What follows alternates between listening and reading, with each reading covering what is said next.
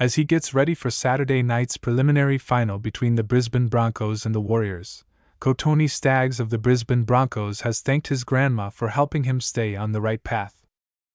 Hi and welcome, this is NRL News Recap. Let's continue with the news. Dawn Staggs, who passed away at the end of 2019, looked after the Broncos center while his mother was in jail, forging a bond that the 24 year old still relies on in his football career today. Football was everything back when I started growing up. I played from the age of five. She made sure I was there and made sure I was at school. She looked after me through my whole childhood.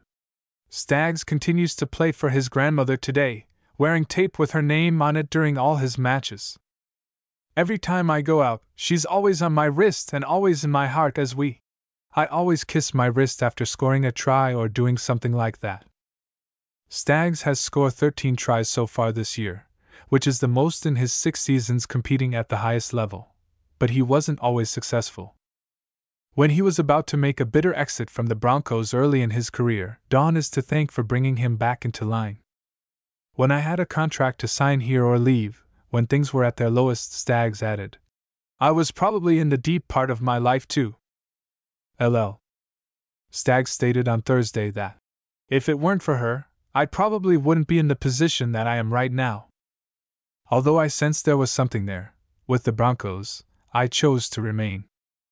Regarding the following generation, Staggs has vowed to impart his grandmother's knowledge, counsel, and support to his nieces and nephews as they mature.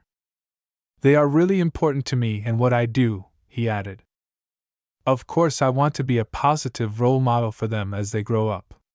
A few of them are becoming a little older and are starting to grasp football and what I do for a career. They're all huge Broncos supporters.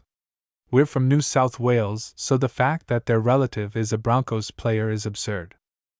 On his right arm, Staggs has a tattoo of the sentiment from Dawn's 18th birthday card. Hope you like the video.